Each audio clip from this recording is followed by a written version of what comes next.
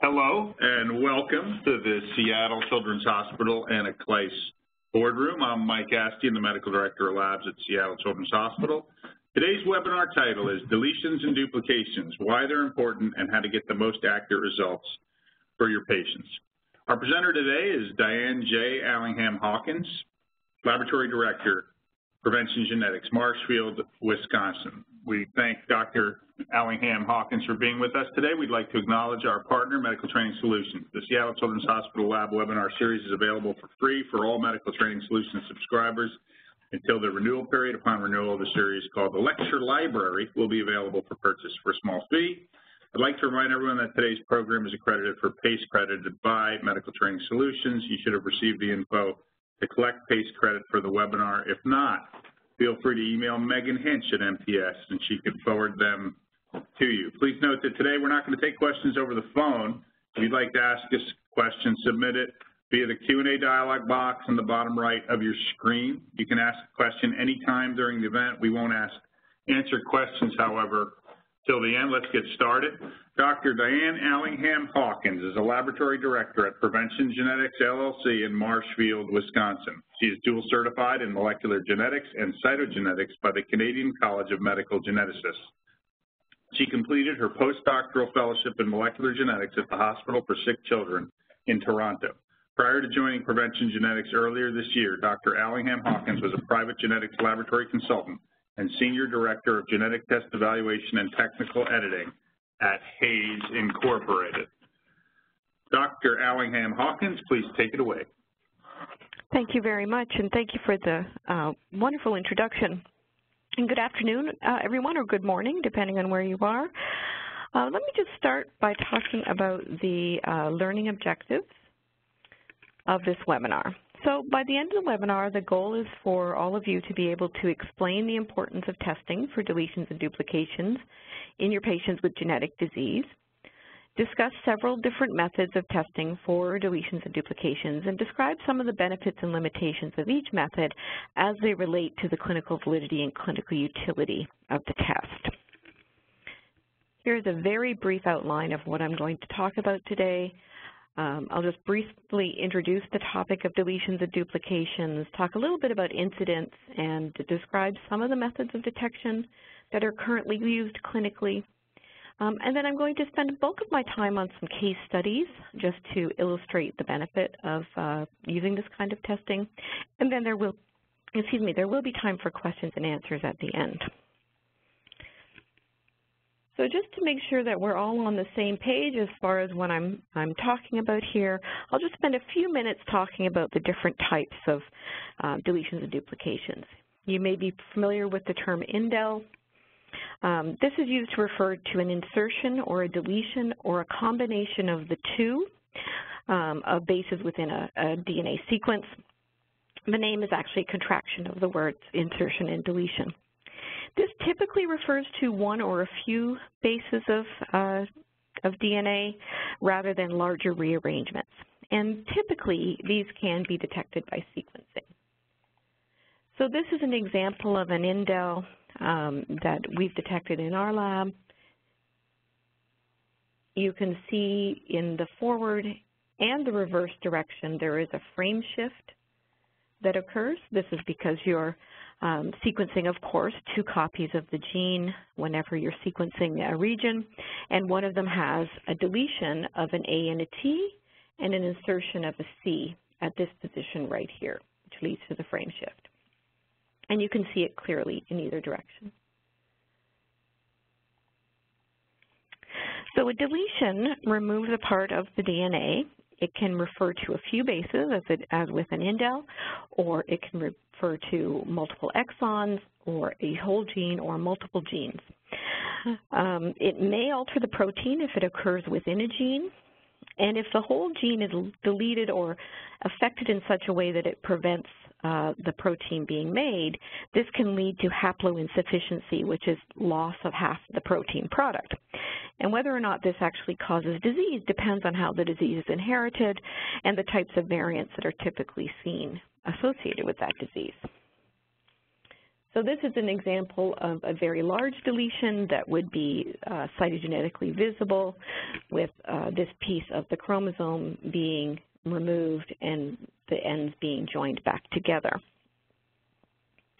Most deletions are not cytogenetically visible and do require another method of detection. A duplication is essentially the reverse of a deletion. Instead of removing a portion of the DNA, uh, a second copy is made.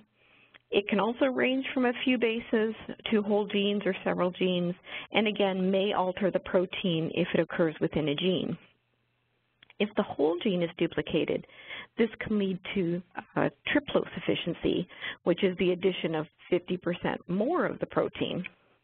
Um, and again, whether or not this causes disease really depends on the disorder, how it's inherited, and the types of variants that might cause the disease.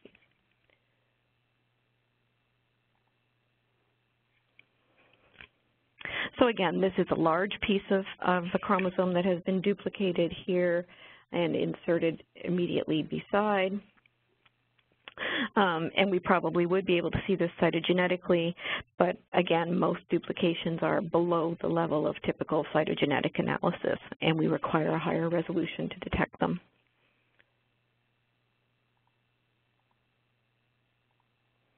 And then finally, uh, contiguous gene syndrome is a disorder that is caused by deletion or duplication of several genes that are located next to each other um, on a chromosome. And some common examples include Williams syndrome, which is caused by a 1.5 to 1.8 megabase deletion on the long arm of chromosome 7, and Prader-Willi and Angelman syndrome, which can be caused by deletions on the long arm of chromosome 15. So this is a schematic of the Prader-Willi syndrome Angelman syndrome region on chromosome 15. And these are two very different disorders that are caused by um, both caused by contiguous gene syndrome, uh, contiguous gene deletion on chromosome 15. So an interesting feature of these disorders is it depends on the parent of origin from whom the deleted chromosome is inherited. So deletions on the paternally inherited uh, chromosome lead to Prader-Willi syndrome, which is a neurodevelopmental disorder characterized by hypotonia, hypotonia, obesity, intellectual disability, and short stature. But conversely, uh, Angelman syndrome is caused by deletions on the maternally inherited 15, um, and this is a distinct neurodevelopmental disorder characterized by seizures, several speech and language delays, movement and balance disorder, and intellectual disability. And the reason for this discrepancy is preferential expression of genes in the Prader-Willi region from the paternal chromosome and of genes in the Angelman region from the maternal chromosome. And this is an example of imprinting. So with that very brief uh, introduction, let's talk a little bit about the incidence of deletions and duplications in different disorders. And these can vary widely between genes and between disorders. So for example, in spinal muscular atrophy, more than 95% of cases are caused by a deletion, a homozygous deletion of exon 7 in the SMN1 gene. Similarly, uh, in the SHOX gene, approximately 70 to 75 percent of cases of SHOX-related haploinsufficiency disorder are caused by deletions in this gene. And in Duchenne and Becker muscular dystrophies, uh, in the, on the order of 70 75 percent of cases are caused by deletions or duplications in the DMD gene. So in these cases, with these three genes and these three um, sets of disorders, it makes sense to start with deletion and duplication testing um, because that is where you're going to get the biggest bang for your buck in your testing.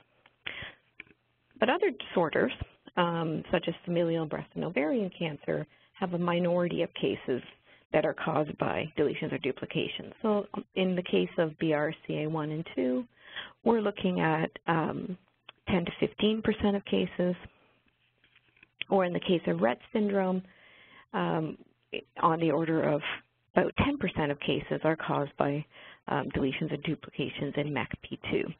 So in disorders like this, starting with sequencing and then reflexing to deletion and to duplication testing is a more logical approach. And as I said, these are just five examples. There are many, uh, many, many more examples. Most genes do have deletions or duplications described at some level, um, but the incidence really varies depending on the gene and the disorder.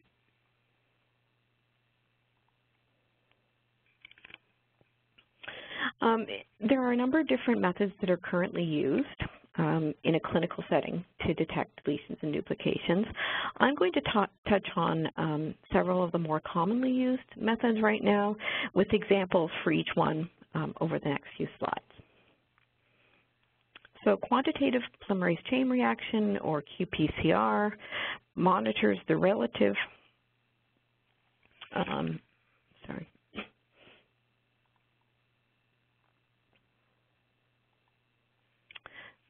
monitors the relative amplification of a fragment of DNA over time. The information is captured in real time using fluorescent tags, which are then read um, on a, by a camera as the reaction proceeds. The key here is to detect, is to do the detection at a time when the reaction is truly quantitative before it plateaus later in the, in the reaction. And by comparing your unknowns or patient specimen to a known normal specimen run in the same reaction, you can estimate the relative copy number in your unknown. So in this case, the unknown specimen is in blue on the left, and it is about half the intensity of the, uh, the known specimen or normal specimen in red on the right. By testing multiple fractions across the gene, we can see that we are consistently seeing um, deletion and, and get an idea of the uh, size, although that really depends on where you position your primers. In this case, you can see that all four of the fragments that have been analyzed have been, have been um, show a deletion, and this is in the BBS1 gene, which causes Bardet-Biedl syndrome. Um, so this, uh, this, although this confirms the presence of a deletion, it really doesn't tell us what's happening on either side of these um, of this region and how far the deletion extends. Here's an, another example. In this case, this is a duplication of the LAMA2 gene, which causes congenital muscular dystrophy. Um, and the, you can see the increased intensity of the, the duplicated specimen on the left compared to the normal on the right. But again, because we only see uh, duplications, and we don't have any fragments uh, outside that region, it's not really clear how far the duplication extends.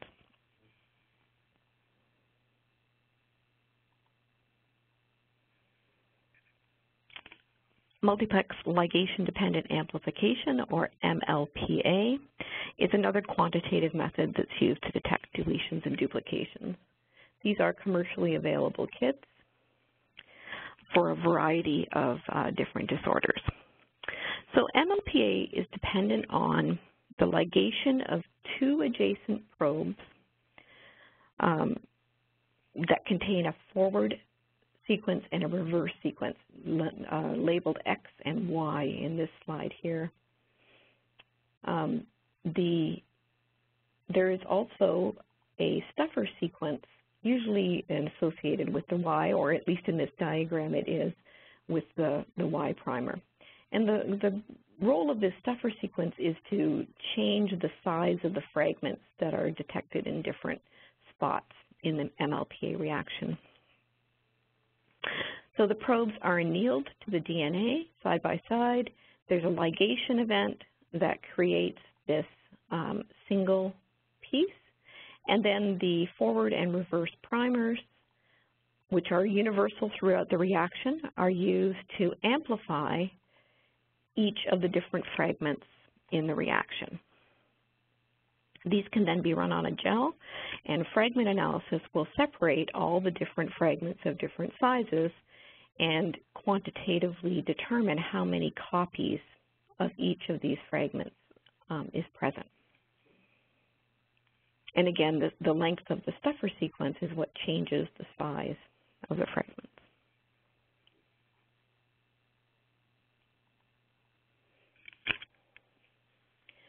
So we can also look at this um,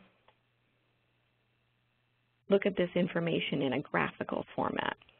So it will be, it says normalized data, where the relative amount of each fragment is normalized against several um, internal controls, which are these in green on the right-hand side of the screen, and also in control specimens that are run in the same reaction.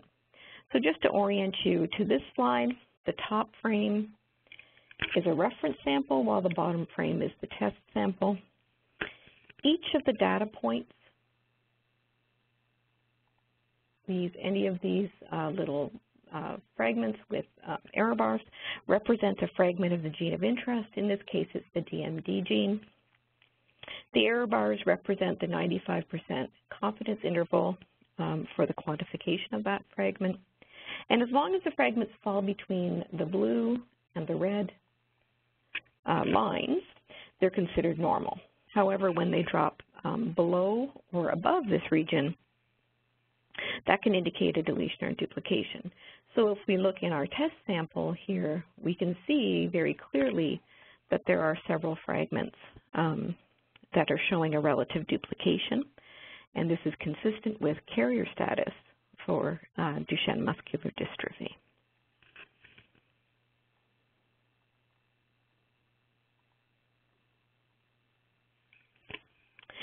Um, in the next slide, we again have the reference sample on the top and the test sample on the bottom.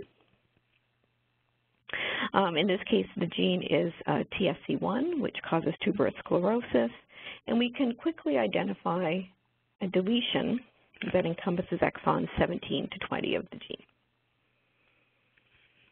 As I said, there are many different commercially available kits for MLPA for a wide variety of disorders.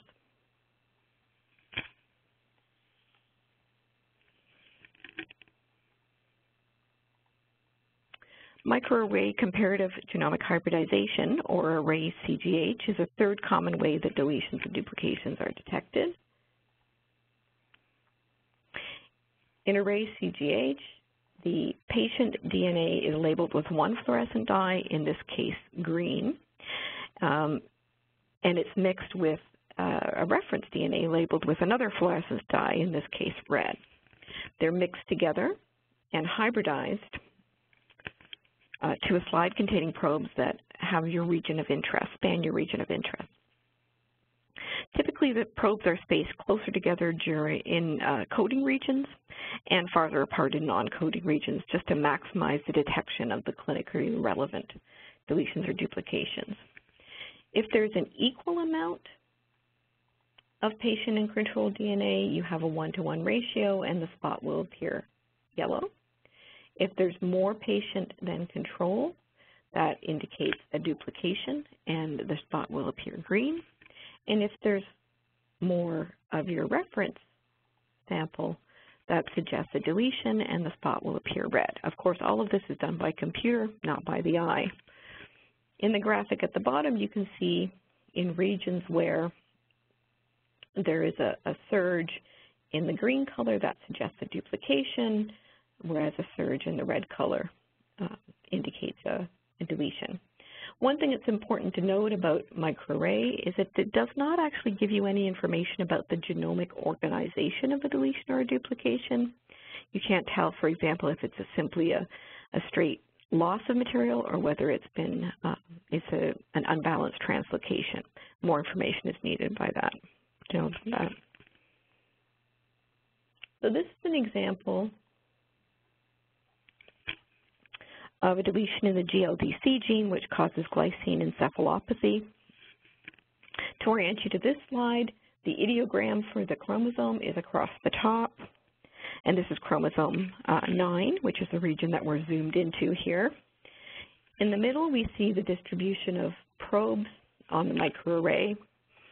Um, each green dot represents a, a distinct probe on the array. When the probes fall at or around zero, as they do in this region to the left, um, that indicates that it's about an equal amount of patient and um, reference DNA, but when they fall too close to the minus one level, as they do um, in the region in the center, that suggests a deletion of one copy of the gene in the patient sample. Um, and a duplication would show as a shift upwards towards the 0.5 level. So at the bottom of the slide, we can see the GLDC gene oriented from right to left with the 5' end um, in this area here. And in this case, exons 1 and 2, uh, represented by the small red boxes, and a large proportion of intron 2 um, have been deleted. Exon 3, which is further down, is outside the region of deletion. So because the probes are so densely spaced, we can actually get a good approximation of the size of the um, of the deletion and the breakpoints. And up here um, in this box here in the top left, it gives us the genomic coordinates, um, indicating that the deletion is approximately 52.8 kilobases. And then the last method I'm going to talk about today is next generation sequencing or NGS. So the, the term NGS is a catch-all term used to describe a number of different approaches to high throughput sequencing. The platform that we use here at Prevention Genetics is the Illumina platform, and so that's what I will base my description on, but there, be aware that there are other platforms that are widely used. So the goal of NGS is to create a vast number of short reads in a short time frame and then align these reads um, to a reference sequence. On the Illumina platform, the DNA is sheared and then adapters are attached to each the end of each fragment. Using these adapters, they are then annealed to the flow cell um, and PCR is carried out using a method called bridge amplification, and that's what's um, depicted in this cartoon below. Um, and this creates many different copies of the same piece of DNA, which then become the templates for your sequencing reaction. So these fragments are um, loaded into the sequencer and literally sequenced one base at a time um, so that it's a method called sequencing by synthesis, and one base is added at a time. The fluorescence from that base is read by the computer, and then the next base is added. And so then this creates thousands of approximately 150 base pair sequencing reads that are then aligned to the reference sequence and analyzed using the computer algorithm.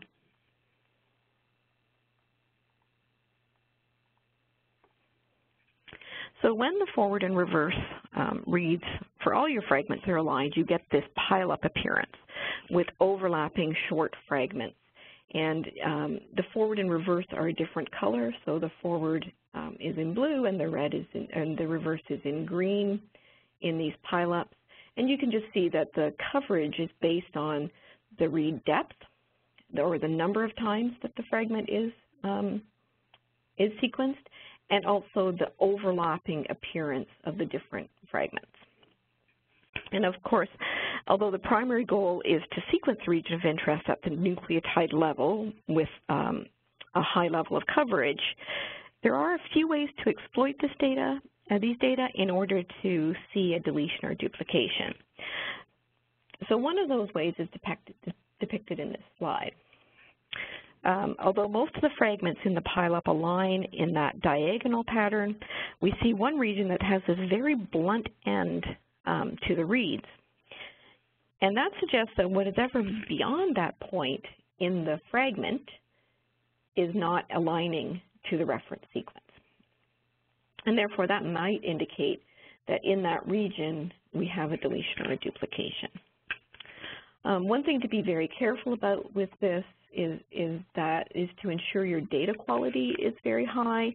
If you're um, if you have a, a very uh, repetitive region, um, a dinucleotide or a mononucleotide repeat, you can end up with very poor uh, sequence quality, which can give you, again, that blunt end appearance.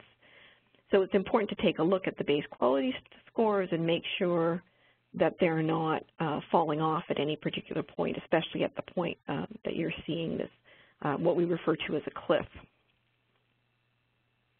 So if we zoom right in, we see that there is no issue with the quality, and so this looks real. You can then take the sequence that you have in this region and query it in the, um, the BLAT tool of the UCSC genome browser. And what we found in this case is this 1.8 kb deletion in the BBS10 gene, um, another gene that's associated with Bardet-Biedl syndrome. And it actually, this deletion actually removes exon 2 um, through the end of the gene, uh, resulting in a severely truncated protein. So that's one way to exploit the NGS data. Another way is to simply look at um, the relative read depth of, uh, which is, uh, as I said before, the number of times a particular nucleotide or fragment is, is sequenced in your reaction. And if you have many samples in the same um, reaction, you can then sometimes see this quantitative difference um, between your sample and other samples. And so, for example, on this side, it's um, quite a high read depth, similarly on this side. But in the middle here, we start to see this pretty much half halving of the um, of the read depth. And that, again, can indicate that there's something going on in this region. Of course, you do have to confirm, as with any form of deletion or duplication testing, confirming with the second method is always um, the best practice. So this um, slide actually depicts a deletion in the ANK1 gene, and I'm going to discuss this case in a little greater detail um, a little bit later in the webinar. So hopefully I've given you a taste, at least, um, of some of the common methods currently used in clinical testing for deletions and duplications. Of course, with, as with any technology, there are benefits and limitations. Um, for qPCR and MLPA, these can be considered targeted methods. They're really testing for specific genes or regions, and you do need to know something about what you're looking for um, in order to do these tests um, so that you can choose your, your qPCR primers or your MLPA kit appropriately. Both methods are highly sensitive and highly specific for the region being tested, um, but only provide information about those regions. Um, the even within the targeted area, depending on um, where your fragments sit, where your, your primers sit, you may get a lower resolution and not really have any idea of the start or end of a deletion.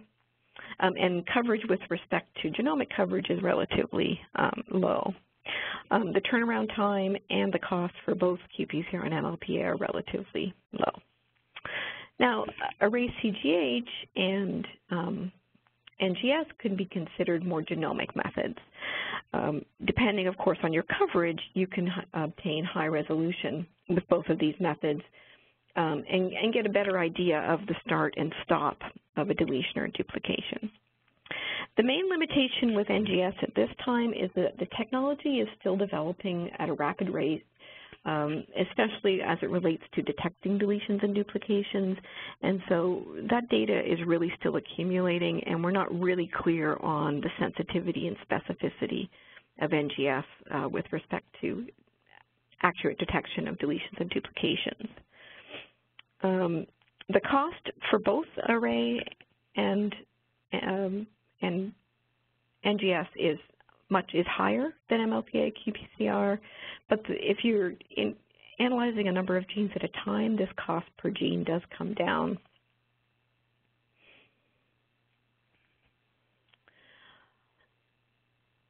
And the, the turnaround time um, comparable for microarray to MLPA and qPCR may be a little bit higher for NGS depending on um, the number of genes being analyzed.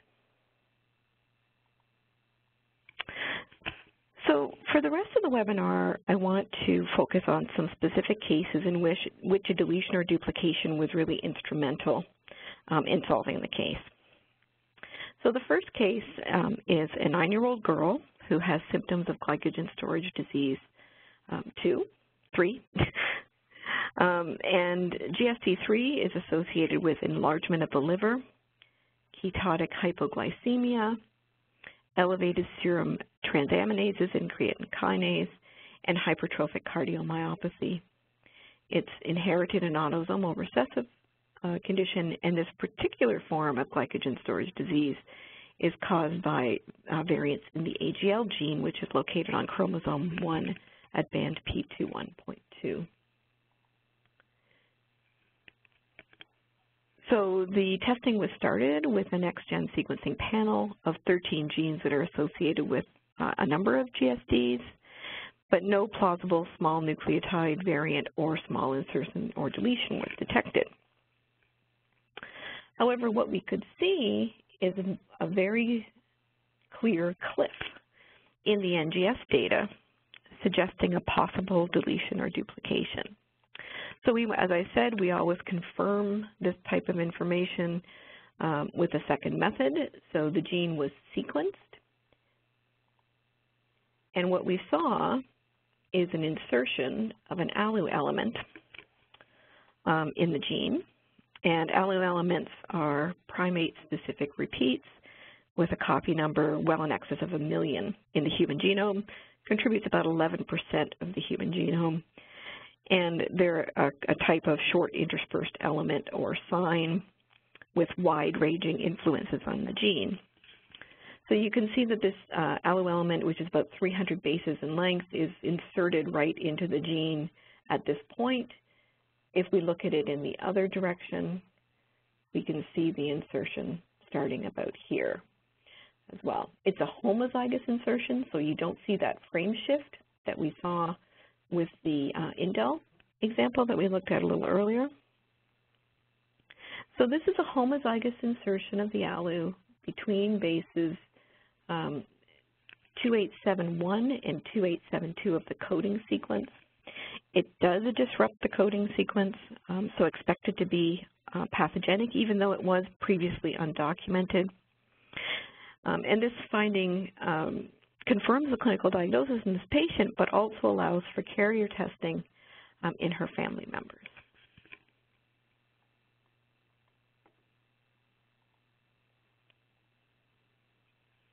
The next case um, is a case with a patient with cerebral cavernous malformations.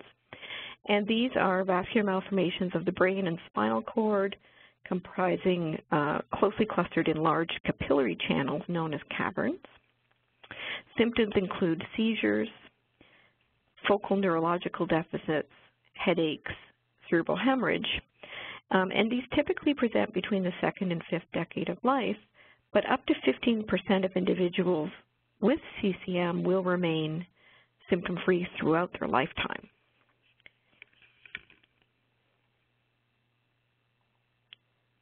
So familial CCM is inherited in an autosomal dominant fashion, and there are three genes, the KRIT1, CCM2, and PDCD10. In this case, sequencing of all three of these genes was negative, and in addition, a common 77.6 kb deletion in the CCM2 gene was not present. So we moved on to a microarray test and detected this duplication of about 34.1 kb um, in the KRIT1 gene encompassing exons 8 to 18. You can see the KRIT1 gene at the bottom here, again running from 5' from this end to 3' that end. What's really interesting about this case is that while deletions are common in CCM, duplications had only been reported um, in one other case. But because this duplication is expected to disrupt the reading frame, it's within the gene, it is expected to be pathogenic. So this result confirmed the diagnosis of familial form of CCM in this patient and also provides the opportunity to screen unaffected family members. And those who carry the duplication could then be monitored for any signs of CCM that they uh, may have in the, in the future.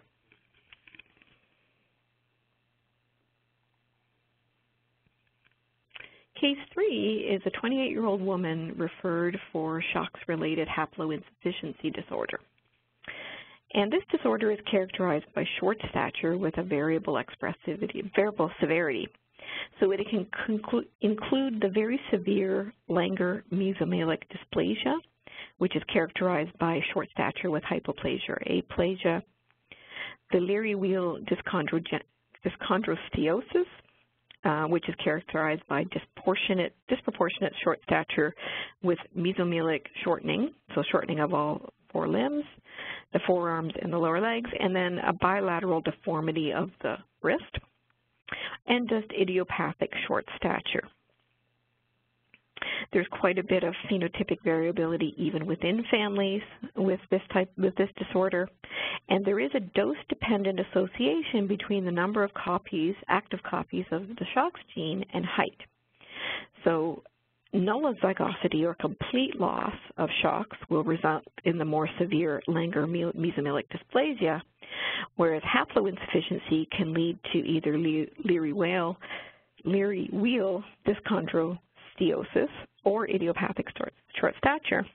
And in fact, extra copies of this gene can is associated with a tall stature. So just a reminder that more than 70% of the pathogenic variants affecting SHOX are deletions or duplications. And so the appropriate first step with this disorder is a deletion or duplication test. In this case, we um, we did a microarray that included the SHOX gene, which you can see right here, right on the left, um, just on the edge of this deletion. But in fact, the deletion actually affected um, several evolutionarily conserved non-coding elements um, that are enhancer elements for expression of SHOX. Um, and so this is, these are in the 3' area down here. And similar deletions encompassing these regions have been identified in indiv individuals with um, familial, idiopathic familial short stature or Léri-Weill dyschondrosteosis. So what's interesting about this case is if we had focused right in on that SHOX gene uh, rather than a larger region, as is covered by the microarray, we might actually have missed this, um, this deletion. So it just shows the importance of looking at regions both within and external to genes for potential variants.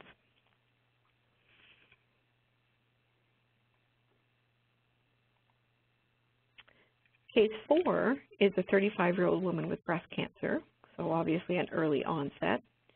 Um, taking a look at the family history, there is a very strong family history of breast and ovarian cancer, but no previous genetic testing um, in the family. And of course, there are a number of genes that are involved in hereditary breast and ovarian cancer, but two of these genes, BRCA1 and BRCA2, account for 25 to 60 percent of breast cancer, and 11 to 39 percent of inherited ovarian cancer. And if you have a variant in one of these genes, your lifetime risk uh, for breast cancer is 40 to 85 percent, depending on the gene and the variant, and 10 to 46 percent for ovarian cancer. So in this case, sequencing BRCA1 and BRCA2 um, did not re reveal any um, pathogenic or likely pathogenic variants. However, when we did um, microarray, we can see this duplication that affects exons 14 to 18 of BRCA2, and you can see BRCA2 here at the bottom and the exons that are included in the duplication. So since this is a dominant, these are dominant disorders, this does confirm the diagnosis of a hereditary form of breast cancer in this patient. It can allow this patient to consider risk-reducing therapies such as a mastectomy or oophorectomy. It can also um, allow her to consider increased surveillance for recurrence. And then it allows for pre-symptomatic testing in her at-risk family members with anyone who's carrying this variant being able to also consider um, increased surveillance or risk-reducing therapies, depending on their choice. Case 5 is an 8-year-old boy with symptoms of hereditary spherocytosis. Um, this disorder is characterized by hemolytic anemia, jaundice, an enlarged spleen, and gallstones. It is a genetically and clinically heterogeneous um, disorder, and variants in five genes that you can see listed there have been associated with the disorder. Most of the cases, about 75%, are autosomal dominant, but autosomal recessive and de novo cases have been described. In this case, we didn't see any plausible single nucleotide or small uh, variants or single small insertions and deletions on sequencing, but this is the case that I showed you before where on NGS we see this decrease in the read depth um, across exons 17 to 24 of ANK1.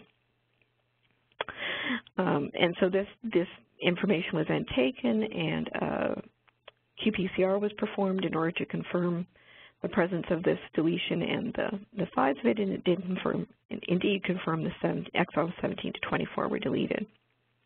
So this confirms the diagnosis of a hereditary form of spherocytosis in this child and also allows for family testing if desired.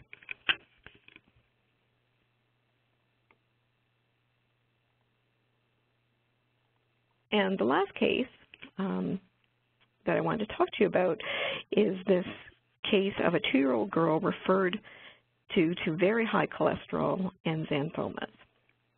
So this little girl's total cholesterol was 853 um, milligrams per deciliter. Just for reference, the normal range for total cholesterol is less than 200. Her LDL was at 773, with the normal range being less than 130, and her HDL was at 34, which the normal range, with the normal range being 40 to 59. Um, there was a very strong family history actually on both sides of the family of high cholesterol and instances of early cardiac death.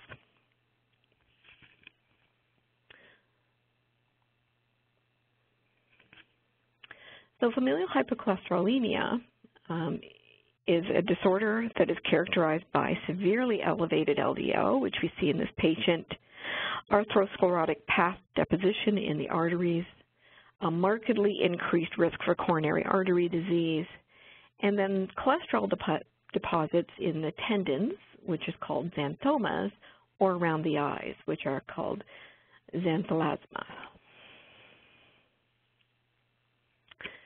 This disorder can be inherited either in a heterozygous or a homozygous form. Both forms are dominant, but the heterozygous form is more common and the homozygous form has a much earlier onset.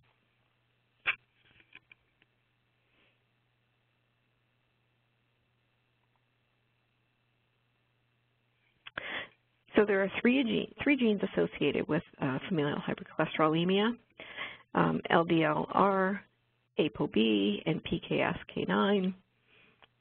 Heterozygous um, FH is, can, can often be directly attributed to a pathogenic variant, single pathogenic variant in one of these three genes.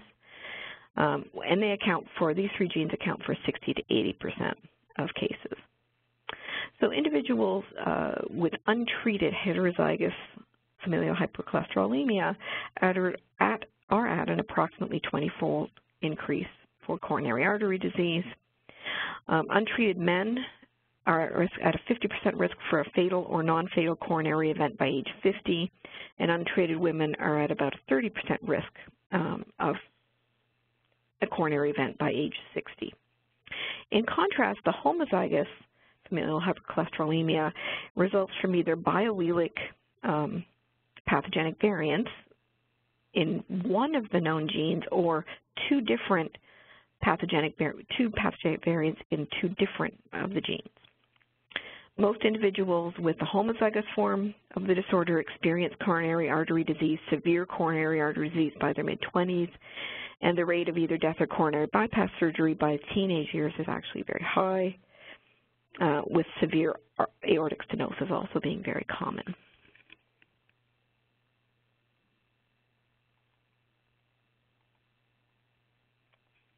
So in this child, uh, we did sequence um, the three genes associated with um, familial hypercholesterolemia and we found this truncating variant in LDLR, um, which confirmed a diagnosis of, of familial hypercholesterolemia.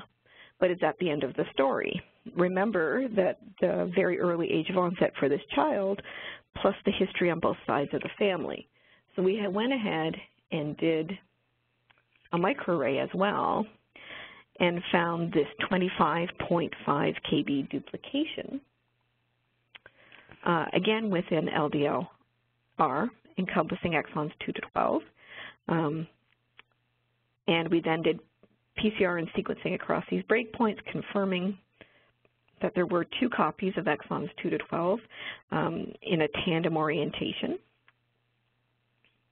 And this is predicted to disrupt the open reading frame and leading, lead to a premature termination due to a frame shift um, in the protein. So in fact, this child is a compound heterozygote, which confirms her, her more severe phenotype, her early age of onset. It also means that both sides of her, her family are at risk for familial hypercholesterolemia, and parental testing did confirm that both parents are carriers of one of these pathogenic variants each.